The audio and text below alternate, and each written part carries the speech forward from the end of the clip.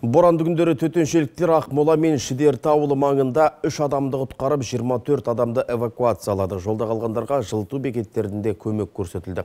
Қазір облыс бойынша жалпы 150-ден астам жылыту пункттері жұмыс жасап тұр.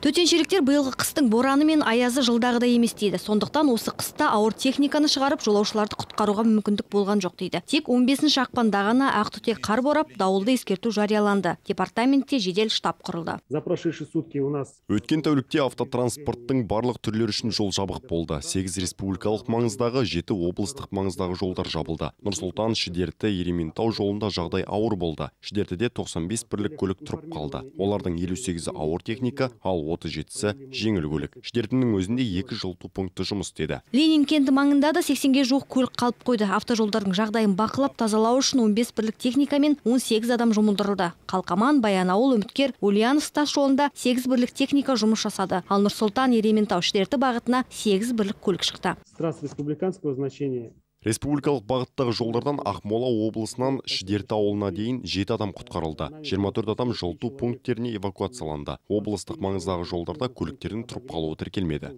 қазіргі уақытта біздің облыс бойынша жүз елуден астам жылу бекіту э, бекітілген Э, осы қыс бізге енді э, жылы болып келді ғой бұндай борандар болған жоқ сондықтан біз ол бірінші ретте мынау жылу бекітулерінің ісін асырдық осы жолы қазіргі уақытта енді жолдардың бәрі облыс маңызы және республика маңызы бар жолдардың бәрі ашық Боранды күндері төтеншеліктермен қозғалысты тоқтату мақсатында 12 бекет орнатылды. Онда 4 бірлік техника мен жеке құрамның 8 қызметкері жұмылдырылды. Ал автомобиль жолдарын тазалау үшін 80 бірлік техника жолға шықты. Самал Қалиқызы, Ертіс ақпарат.